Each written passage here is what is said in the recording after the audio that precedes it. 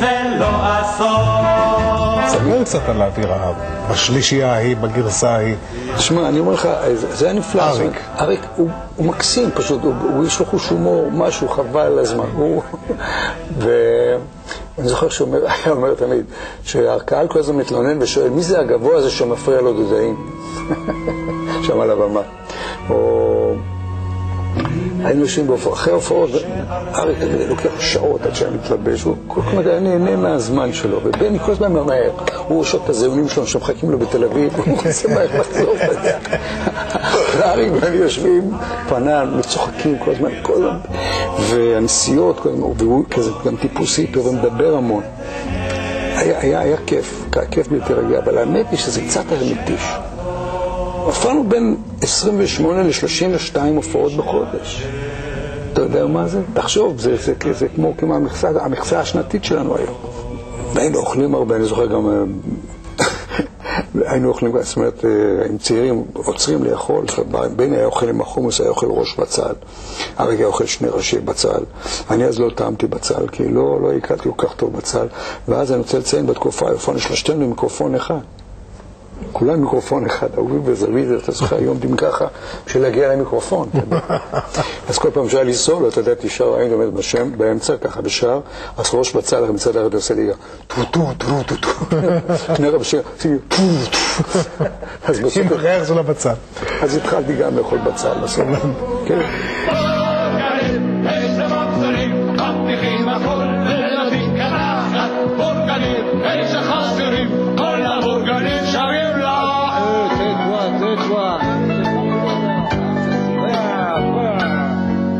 השנים חלפו ושלושתנו נפגשים בעירייה כעת.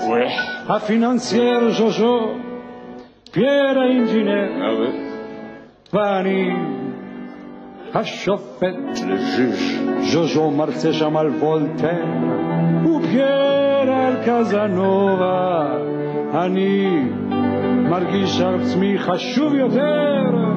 תמיד הרגשת על הגובה. יש לך רומן אה, הרבה מאוד שנים עם אה, צרפת. כן. אתה פרנקופיל, אולי אחד המפורסמים בארץ. זה- 59 למדת פנטומימה אצל מרסל מרסו. I had a school at that time. He started as, as a student, but he, he finished in my company. it's wonderful. He looks uh, younger than before. הייתי תלמיד טוב, יותר מטוב, זאת אומרת, הייתי תלמיד מצטיין אצלו בתקופה ההיא. אני זוכר שיום אחד הוא שאל, מי רוצה להמשיך ולעסוק במקצוע רק בפנטומימה? אז היו חלק שהרימו יד וזה, ואני לא הרמתי יד. ואז הוא אומר לי, וואו, אני רואה שגוריון הוא הולך פלמה, זאת אומרת, לא הרים יד. אחר כך הוא נורא נעלב. למה אתה? אמרתי לו, תשמע, אמרתי לו, תראה, אני גם זמר, ואני רוצה גם להיות שחקן, ואני זה, לא בטוח. ואז יום אחד קרה מקרה יפה. הוא בא, יש שם איזה מועדון כזה שנקרא לטאבל, המועדון שכל האומנים באים, כל המקומות שמופיעים, הם באים להופיע, לשיר שם. הערובה. ערובה, לטאבל, ערובה זה הכוונה. ופתאום יום אחד מרסל מסו גם מגיע.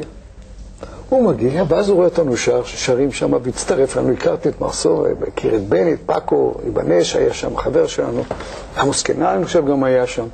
הוא כך התלהב, שהוא היה מוכרח גם כן להופיע, אתה יודע, בפנטומימה, הוא לא יכול, כולם שרים. אז אמר לי, רוחלי, אח שלו, תשאיר משהו, תדבר משהו, שם ידיים אחורנית, והוא גאוני עשה, ואנחנו גגלנו מצחוק. כשהגענו לפריז, לא ידענו מילה צרפתית, שום דבר, הכל נראה מוזר, ואני זוכר שהלכנו לנתן, היה שם חיית נתן, ותפרנו חליפות מיוחדות כדי להגיע לאירופה, אתה מבין, להגיע לאירופה, חליפות כאלה. כשהגענו לשם, היינו שם, זה, לא הבנו שחליפה זה גם עניין של אופנה, פעם זה קצר, פעם זה ארוך, אתה יודע, גם לשם, נראינו כמו, הסתכלנו, כמו איזה... מאיפה האנשים האלה הגיעו? ישר הורדנו את החליפות, זרקנו אותם לשום מקום, ואז לא היה לנו כסף לקנות חליפות אחרות, בגדים אחרים. התחלתי להסתכל, זה כל, הדבר נראה לי זר לגמרי, סוף סוף אתה מגיע למקום תרבותי. אנחנו באנו, אתה יודע, אחרי מלחמת קדש, כל המלחמות, היינו מאוד מאוד כאלה, אתה יודע, ישראלים גאים, ספרטנים כאלה. ופתאום אתה רואה כאן הצרפתים, לא מעניין אותם, לא מלחמות, לא שום דבר, מעניין להם מה לאכול, מה זה, כל מיני דברים. יש את התרבות וזה, ואני רוצה לך שנדלקתי על המקום הזה, ואמרתי, אני הולך להיות פרנקופילי, אתה יודע, עכשיו לא ידעתי מילה צרפתית, אתה יודע, הם לא יודעים אנגלית, לא יודעים שום דבר. אז אני בא למסעדה, אני אומר, טוב, מה נזמין? אז אני אומר לו, אני אומר לו, אני צ'יקן, צ'יקן, משהו כזה. אז הוא אומר לי, קומו? צ'יקן, you know, צ'יקן. קומו לא שקומפרום פעם, מסיו, אני לא מבינה, אדוני.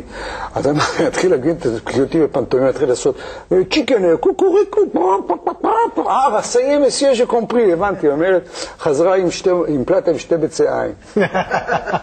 ואז אמרתי לבני, בני, אני חייב ללמוד צרפתית, בוא, בוא נלמד לאליאנס פרנסז, ואני הולך לאליאנס פרנסז, ואתה בא וכולם שם, אתה יודע, ספרדים, איטלקים, קל להם, הם שומעים, ואני כלום, אתה בא מעברית, אתה טראח לצרפתית, לא מבין, נשארתי כיתה כל שבוע, שלוש פעמים. התחלתי לחקות אותם, אתה יודע, התחלתי לעשות מדע, ולמהר מאוד למדתי, לא כל כך את המילים, מילים אף פעם לא יודעת.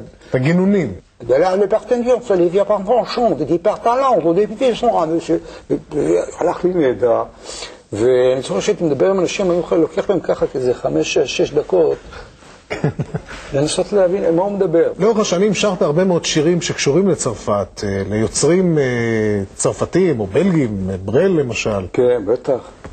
ברל, אוף, אני הרצתי אותו, פשוט. גם, אתה יודע, זה אחת מהתקופות, רציתי להיות ברל. הייתי שר ז'אק ברל, כמו שברל שר ברל. הנה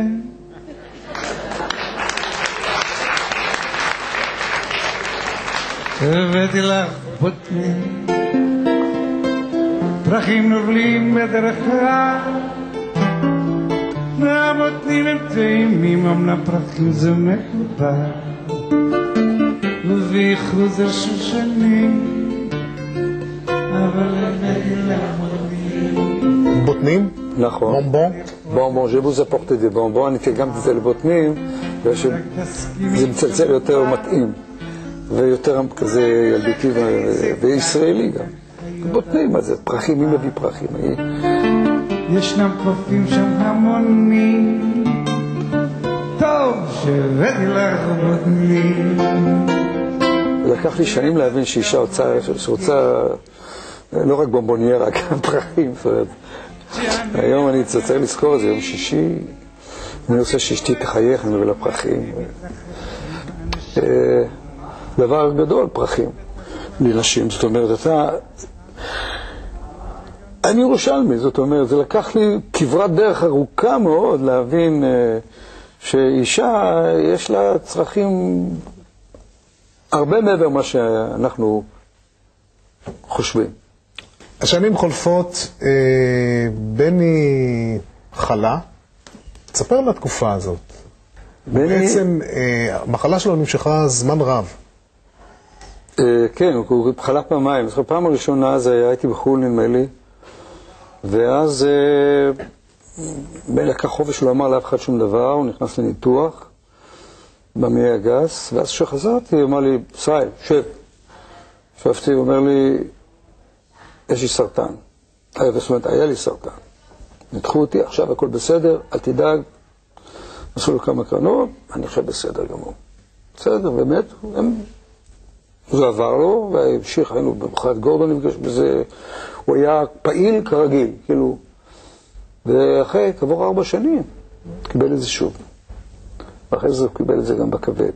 ואז הוא אומר לי, שום דבר, עוד פעם אומר לי, אל תדאג, אני אצא מזה, אני עכשיו לוקח פרויקט, ההפקה הבאה זה, זה להבריא.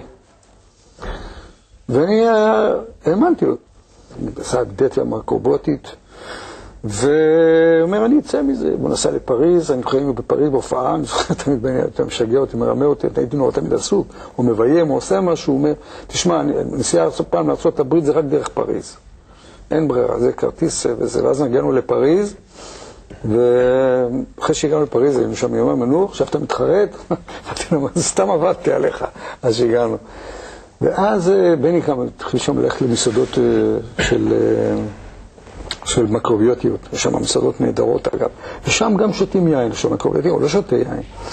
ואז אני בכל זאת לקחתי יין, הלכתי איתו, כי לא רציתי בכל זאת שירגיש, אתה יודע, ולקחתי יין, ואז הוא אומר לי, תמזור לי טיפה, ככה. הוא לקח, אתה יודע, טיפה אולי סנטימטר, פחות, של טיפה יין, והוא היה לוגם כדי להרגיש עדיין שהוא בצרפת, אתה יודע, לוגם את היין הצרפתי, היה כך, כך נוגע ללב, כך הוא רצה, הוא רצה כל כך לחיות, היה תאב חיים בצורה בלתי רגילה.